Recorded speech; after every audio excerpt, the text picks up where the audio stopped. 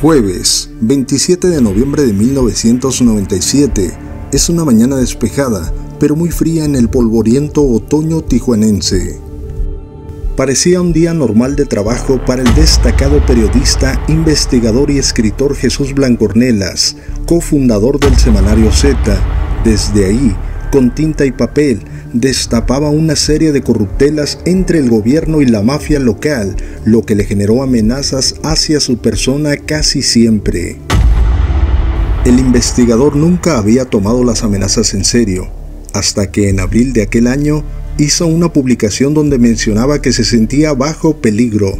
Al mismo tiempo un hombre llamado Luis Lauro Valero, ex policía judicial, se ofrecía como escolta del comunicador. Luis Lauro por aquellas fechas era dueño de un modesto y tranquilo negocio de grúas. Al final, se convertiría en un héroe para Blancornelas.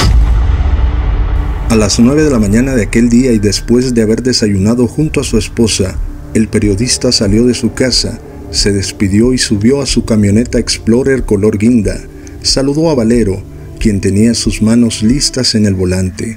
Blancornelas lanzó su maletín hacia el asiento de atrás, junto con una cangurera donde venía una pistola bereta utilizada por Valero para la seguridad. Habían pasado meses tranquilos que el arma pasó a segundo plano.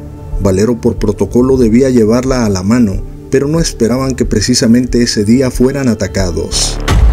El guardaespaldas encendió la camioneta, siguió la ruta de siempre. Cuando llegaron a la esquina del cruce de las calles Chula Vista y San Francisco de la colonia Las Palmas, fueron sorprendidos por un auto color verde, quien les cerró el paso. Desde el asiento trasero del mismo, un hombre de traje y corbata sin más sacó un brazo por la ventana, apuntó a Valero con un arma y a Blancornelas y comenzó a dispararles. Mientras tanto, con un pánico inmenso, Valero dio reversa a la camioneta, se estampó con una barda de una casa, como pudo empujó hacia abajo a Blancornelas, quien en el hueco bajo la guantera se protegía de los disparos que arreciaban. En posición fetal, Blancornelas rezaba por su vida, mientras imágenes familiares aparecían en su mente. A los segundos vio a Valero soltar el volante y desvanecerse hacia él. Al mismo tiempo, el guardaespaldas pudo decir sus últimas palabras: Cuidado, señor, cuidado. Al instante, falleció. El investigador como pudo alcanzó una radio que estaba en conexión a la central del Z y a su casa. Pidió auxilio. Las balas seguían. Un par de ellas rozaron su mano derecha. De repente una hizo blanco en su espalda. Tal parecía que le hubieran dado con un bate en la espalda que lo sofocó. No podía respirar bien. Cuando ya se daba por muerto los disparos terminaron. Un silencio total rodeaba la zona. Solo un rechinar de llantas de autos se oyeron a metros. Por otra parte, la posición de los delincuentes fue identificada como la clásica emboscada, perpetrada por al menos 10 sicarios quienes venían en tres autos diferentes. Estos dispararon cerca de 100 cartuchos de diferentes calibres, entre los que había 9 milímetros, casquillos de AK-47 y de escopeta.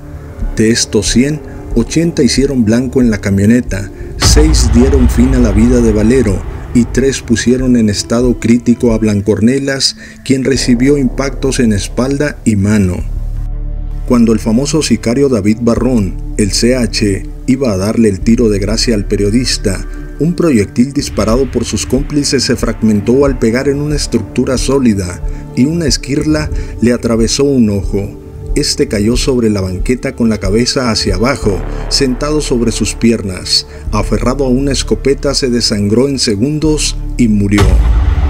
Los demás sicarios al ver lo que ocurría perdieron el control, pararon de disparar y huyeron del lugar, sin darse cuenta que el periodista seguía vivo. Los autos que usaron los sicarios fueron localizados más tarde abandonados en la avenida Melchor Ocampo de la colonia 20 de noviembre. En uno de ellos se detectaron rastros de sangre. Al lugar del atentado llegaron policías y paramédicos. Blancornelas aturdido pedía que lo llevaran al hospital del Prado por ser el más cercano a la zona. Adela Navarro, su compañera en el Z, lo acompañaba. Veinte días duró internado en dicho hospital donde fue operado dos veces. Al recuperarse supo lo de Valero y lloró por su pérdida.